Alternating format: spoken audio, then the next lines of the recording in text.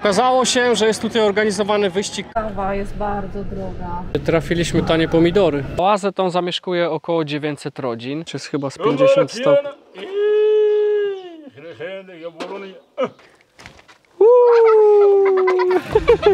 Hej, jesteśmy Paweł i Monika. Podróżujemy własnoręcznie zbudowanym kamperem, w którym mieszkamy na stałe. W naszą obecną podróż ruszyliśmy z Anglii przez Francję, Hiszpanię do Maroka. Dołącz do tej afrykańskiej przygody. Subskrybuj nasz kanał.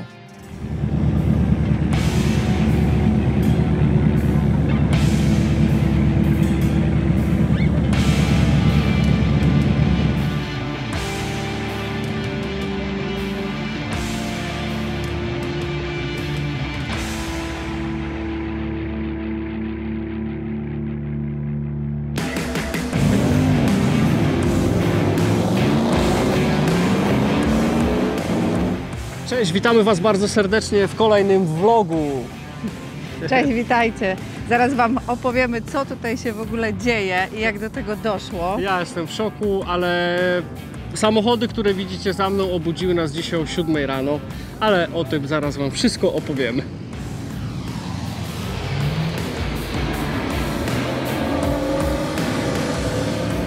No jak pamiętacie z ostatniego odcinka, przyjechaliśmy tutaj na tą białą plażę, najdłuższą plażę Maroka, i która była spowita mgłą. I odjechaliśmy jakieś 20 minut dalej, żeby sobie po prostu pobyć w cieple. I na drugi dzień nie mogliśmy się powstrzymać, żeby tutaj nie wrócić. Tym bardziej, że właśnie tego typu samochody, samochodziki, ciężarówki, wyścigówki obudziły nas wcześnie rano, całymi tabunami po prostu mknęły. Myśleliśmy, że jak będziemy stali po środku niczego, to będzie cisza i spokój, no ale niestety, więc no przyjechaliśmy zobaczyć, co tutaj się dzieje. Okazało się, że jest tutaj organizowany wyścig. Jest on organizowany raz do roku. Nie jest to jakaś wielka impreza. Jestem w szoku, że prywatna osoba organizuje coś takiego i ma dostęp do takiej plaży. Bo ja mam mieszane uczucia co do organizacji wyścigów w takich miejscach. Wyścig odbywa się na odległości 100 km, biegnie wzdłuż plaży. Przypominam, że jest to najdłuższa plaża w Maroku. I później wraca tutaj w to miejsce, e, można powiedzieć, że pustynią, no bo teren jest taki pustynny. E, nie wiem, mam mieszane uczucia, tak jak już Wam mówiłem. E, byliśmy tutaj wcześniej, było mnóstwo ptaków, było mnóstwo zwierząt, była cisza, spokój. Przyjechaliśmy tu dzisiaj rano, nie ma nic. Nad zatoką nie ma żadnych ptaków, wszystko gdzieś wyfrunęło i obawiam się, że przez parę tygodni już tutaj nic nie wróci. I taki jestem trochę zmieszany, ale jak widać sponsorzy się znajdują, ktoś inwestuje w takie, w takie po prostu eventy i no i część ludzi na pewno ma z tego zabawę. Także nie oceniam, tylko mówię swoje odczucia. No i tak szybko, jak ta plaża nam się pokazała, tak szybko zaczęła tonąć z powrotem we mgle. Także chyba tutaj sobie dzisiaj nie poplażujemy, będziemy uciekać już y, na pustynię.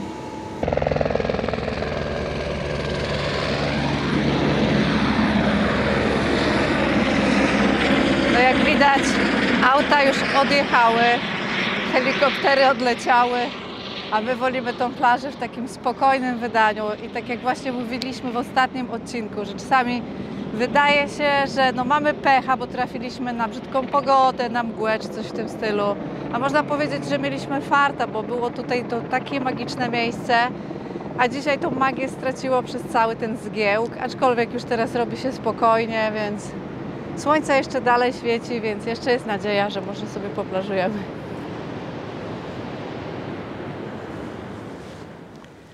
Kolejną nockę spędziliśmy w szczerym polu, pośrodku niczego. Wczoraj trochę poplażowaliśmy, wyszło słońce, ale potem znowu przyszła mgła. No i zrobiło się zimno, wilgotno, 16 stopni. Odjechaliśmy trochę w ląd, tak z pół godzinki i tu było 29, więc zostaliśmy sobie tutaj.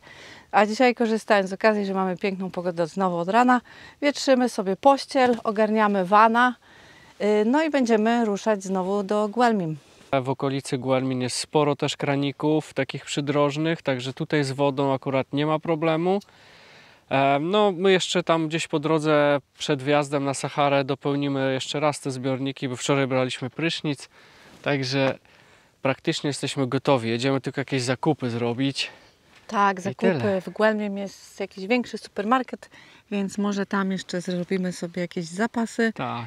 No i będziemy lecieć na pustynię. No, ale wczoraj tu były gwiazdy, słuchajcie, jaka droga mleczna, jakie planety w ogóle. Cudnie, bo jest tutaj ciemno dookoła, nie ma No. żadnych świateł sztucznych, nie ma żadnych miast. Jest po prostu dziko, a na dziko najlepiej. Najlepiej. Dobra, Monia, zabijamy się, dzisiaj ma być znowu 33 stopnie w lądzie, także podróż może być dosyć ciężka.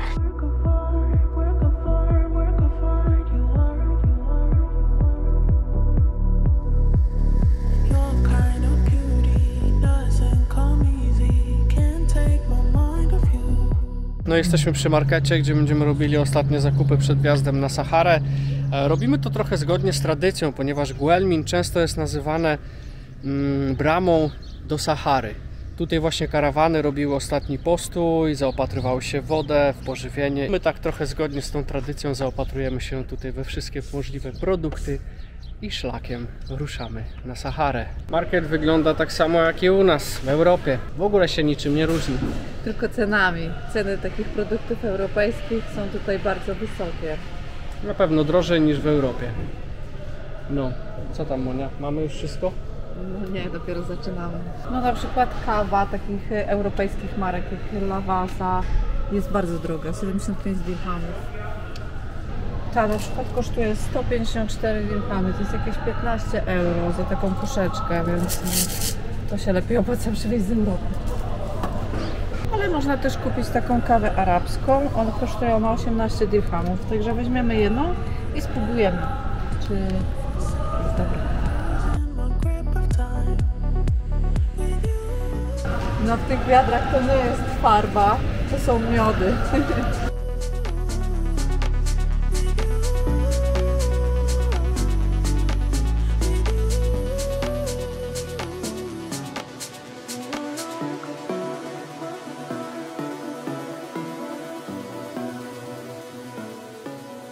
Trafiliśmy tanie pomidory, 4 dirhamy. 4,90. No i cebula też tania jest. Weźmiemy cebuli też. No jeżeli chodzi o wołowinę, to jest trochę droższa niż zazwyczaj kupujemy na targach. Kosztuje około 100, 100 dirhamów, tu jest po 130, 140. Ale nie jest to jakaś duża różnica też. Szyneczki niestety tylko takie, mały wybór z Tak. indyka. Są to ceny za 100 gram. Wszystko indyk jest. e, Z rusztu, wędzony. Tam są takie mielonki jeszcze, one są najtańsze.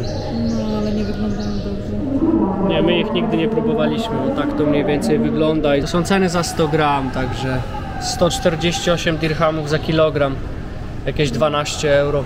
No i zakupy zrobione, zapłaciliśmy około 60 euro. Także teraz tylko zostało to wszystko spakować, co jest czasami wyzwaniem, ale, ale damy radę. No i jeszcze sobie wodę uzupełniliśmy już na maksa, zalejemy do, do pełna zbiornik i ruszamy. Jak widzicie mamy tutaj około 18 litrów, 15. Tu mamy 18 litrów pitnej wody i mamy jeszcze 3 butelki po 5 litrów. To jest 10 litrów, czyli w sumie około 120 litrów, 130 litrów z pitną wodą. Qu'en euh, 50, euh, 70 km, le, euh, le prix moins cher. No, no fuel? Non, nous, you have fuel, mais le, moins, le prix, il est moins cher. O, Yes. okej. Uh, uh, 11, 11.50. O, Yes. After, uh, tam, tam. Zakupy zrobione, paliwo zatankowane. Podobno za tatą jest jeszcze tańsze niż tutaj. Także spoko loko. Lecimy. Będziemy jechali marokańską pustynią, która rozciąga się wzdłuż granicy z Algierią i jest w większości pustynią kamienistą. Piaszczyste wydmy Erg występują jedynie na południe od Doliny Dra i jest to Erg Sigaga i na wschód od Doliny Zis, niedaleko Merzugi, wydmy Erg Shibi. Ty pod prąd jedziesz, Paweł. Ja wiem, on też jedzie pod prąd. Okej, no to lecimy. Lecimy pod prąd.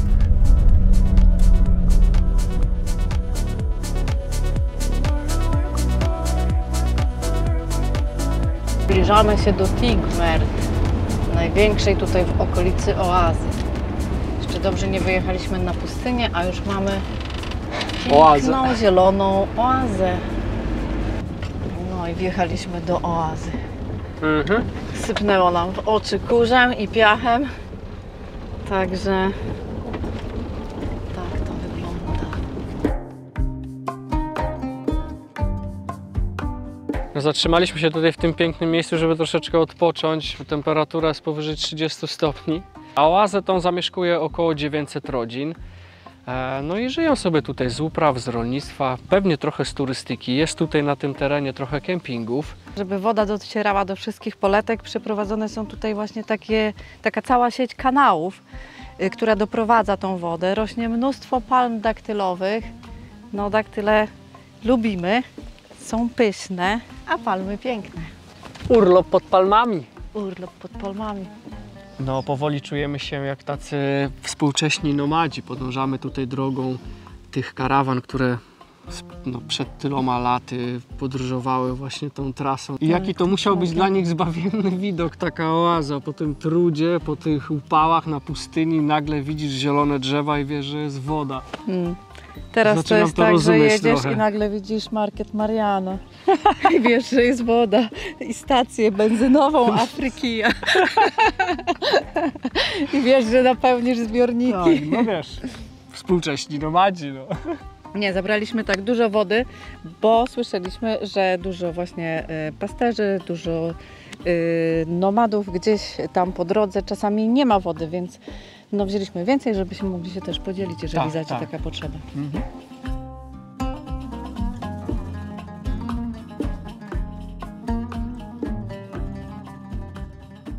No i przyjechaliśmy tutaj, do Kazby, która nazywa się podobnie jak Caravan Salon.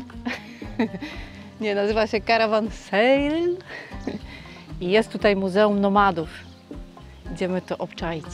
A że my jesteśmy już trochę nomadami, to chcemy zobaczyć, jak nasi przodkowie żyli.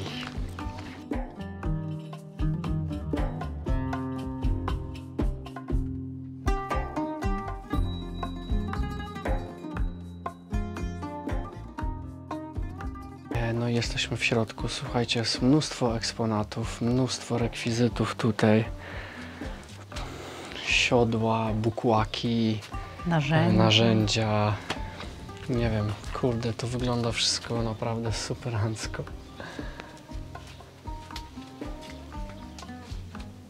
Zobaczcie, jakie tu są zgrzebła do czesania chyba wielbłądów, owiec. Nie wiem sam, chyba do wielbłądów. Albo koni może. A tutaj?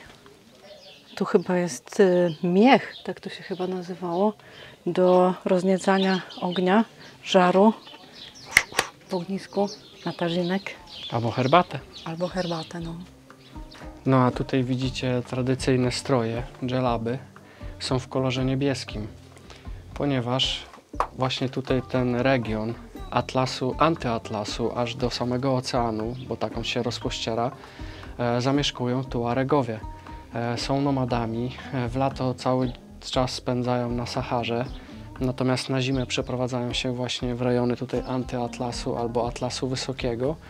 E, nazywani są błęki, błękitnymi ludźmi. No, mieliśmy okazję jednego spotkać właśnie na targu wielbłądów. Tuaregowie niestety nie cieszyli się swego czasu dobrą opinią, ponieważ pojmywali ludzi i sprzedawali ich na targach niewolników.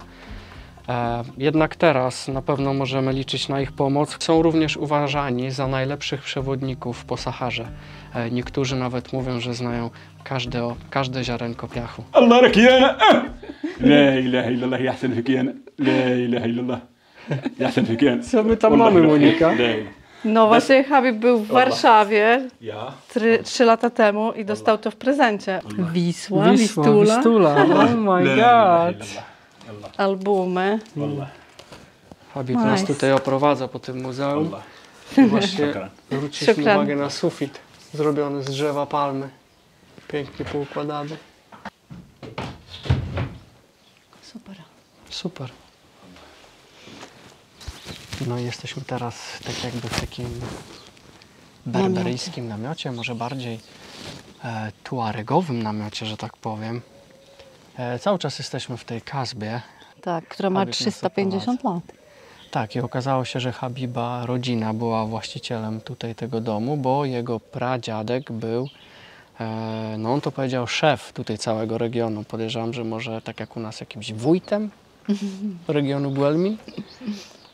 Także poznajemy historię tutaj okolicy i w ogóle całej tutaj tej oazy. Ale widziałaś, ile cukru pan załadował tam? Miał taką dużą kość i odłupał takim dłutem. No. To jest sam cukier, także na pewno będziemy mocno pobudzeni po tej herbacie. No to nam się przyda w ten upał, bo tu w tym namiocie jest chyba z 50 stopni. Pisaliśmy się w książkę gości, także jak ktoś tutaj będzie, to dajcie, dajcie nam znać. No powiem wam szczerze, że super miejsce, super No, człowiek w super ogóle człowiek, Habib. fajne doświadczenie. Y, Kar- Kasba Caravan Sevril. Tak, Tutaj kiedyś zatrzymywały się karawany, które szły z Mauretanii, z południa. handlować y- właśnie do Guelmin na targ wielbłądów, wymieniać się różnymi surowcami, solą, srebrem.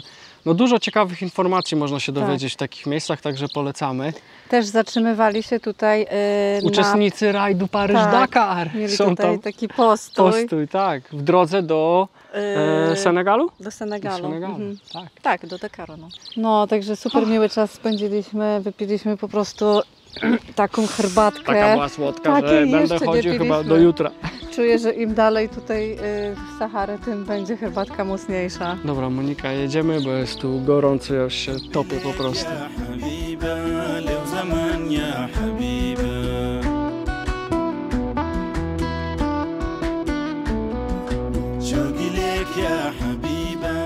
No i mamy nasze pierwsze wielbłądy na trasie. Halo, siema!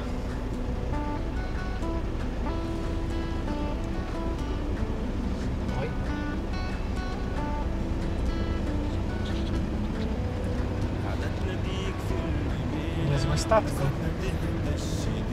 Jadę wolno, żeby ich nie przestraszyć. صفقتنا فيه الجبال هجر فيها الحجارة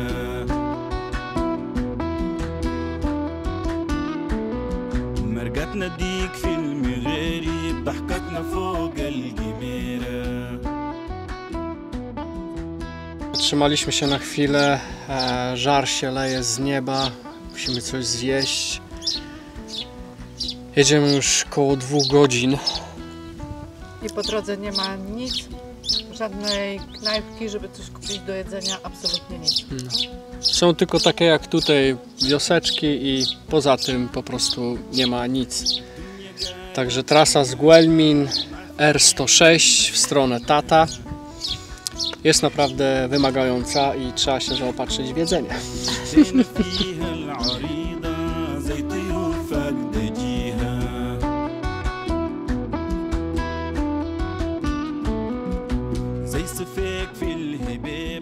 zatrzymaliśmy się w bardzo małym miasteczku koło Taty. Nazywa się Rik Ig. Nie wiem jak się to mówi dokładnie po arabsku albo po berberyjsku, ale uwagę naszą przykuła oaza tutaj. Bardzo blisko jest, przy samej trasie. No i z tyłu są ruiny jakiegoś miasta. Widać, że było gliniane. No i trochę jest zniszczone, ale idziemy zobaczyć, co tam się dzieje. بليك يا حبيبة no, pojawiliśmy się troszeczkę w takim odludnionym miejscu, no i wzbudziliśmy troszeczkę zainteresowanie tutaj miejscowych dzieciaczków. Hello! Razem zwiedzamy. Podobno mieszkają w tym starym mieście ludzie, ale nie wiem, czy się dobrze zrozumieliśmy. Także idziemy i zobaczymy, bo No niektóre domy wyglądają tak, jakby dopiero niedawno były upuszczone, powiem wam szczerze. Także chodźcie, zobaczymy. Może coś dalej będzie wiadomo na temat tych budynków. Jak widzicie, nie ma tutaj ulic, ani nawet dróg, ale jakoś może gdzieś dojdziemy.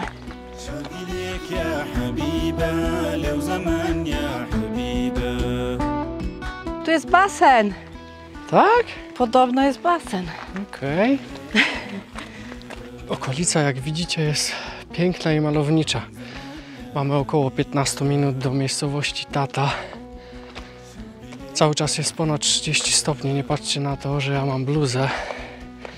Próbuję zachowywać się jak miejscowi, są poubierani i powiem wam szczerze, że trochę to działa. Mimo tego upału założyłem bluzę i troszeczkę to słońce mniej mnie pali. Także trzeba obserwować miejscowych podczas podróży. Tutaj nam chłopaki mówili, że jest basen, tak, tak to zrozumieliśmy, ale to nie jest basen, tam jest po prostu studnia. O tam. Stamtąd czerpią wodę. No i oaza czeskie. wygląda przepięknie. Jedyne co z tych domów przetrwało to podłoga. I to wszystko. Żeby się coś na nas nie zapaliło. Nie, chyba nie. Wszystko jest teraz suche.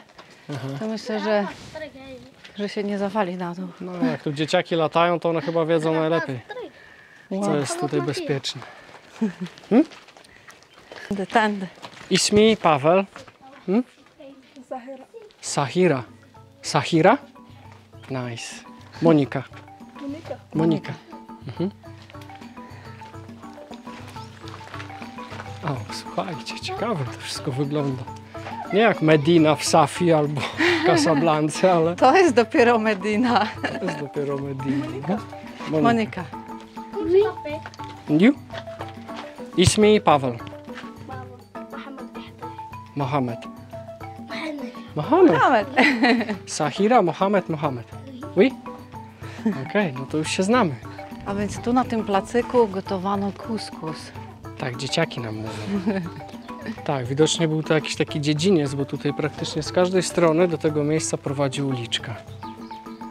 A może była to jakaś wspólna kuchnia. Domy były tak blisko siebie budowane. Te wejścia są takie małe. Społeczność lubiła żyć blisko siebie.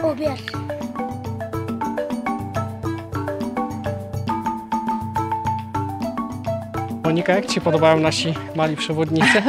No świetnie są, dużo nam wytłumaczyli, chociaż Tak. y, no, w ogóle nie rozumiemy po arabsku. tam chyba nie Na przejdziemy. Darija, tam chyba nie przejdziemy. Nie, nie, nie. Nie, tam nie Się będziemy musimy. wchodzić. Tak, ich e, język brzmi zupełnie inaczej niż te 300 km wcześniej, jak byliśmy, ale Coś tam na migi. coś tam nami rozumiem. Idzie Kolejna grupa. Bonjour! Hej! My Dzięki dzieciakom dowiedzieliśmy się, gdzie były meczety, gdzie się gotowało, gdzie się spotykało. Na migi trochę się dowiedzieliśmy, że tak powiem. Tak, gdzie No. była łaźnia. Gdzie była tutaj łaźnia. otaczę to ogród palmowy. Tak, no Sokolica jest przecudowna.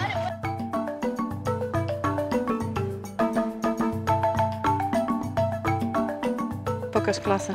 Okej. Co by tutaj zapodać? Ej, good. Strzeliłeś gołębia? Dzisiaj, dzisiaj na kolację. Zobaczę jak daleko poniesie. Ready, steady. Oj.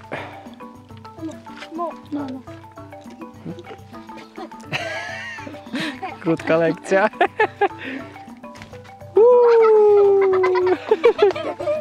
Już zachodzi słońce, więc musimy zbierać się do wana i szukać miejscówki na noc, ale nie wiem, czy nas stąd w ogóle puszczą.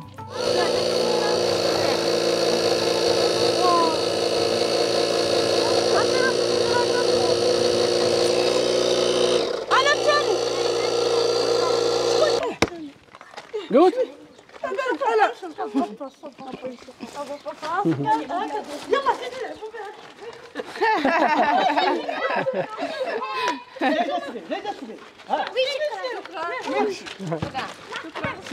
Marhaba. marhaba. Ej, chłopaki! Trzymajcie to. Będzie pompować.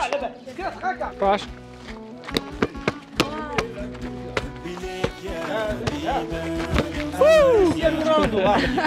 Lewandowski. شوقي ليك يا حبيبة لو زمان يا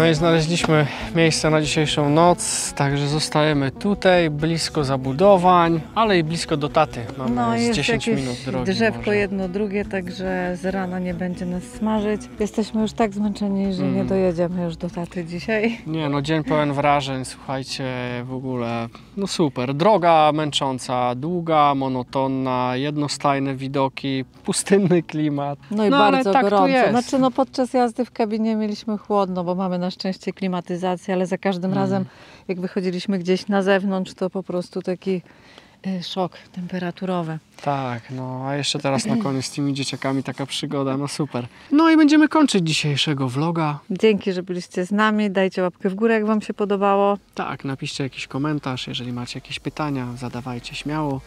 A no, a widzimy się za parę dni. No, a my odpoczywamy. Jest Tak. tak gorąco.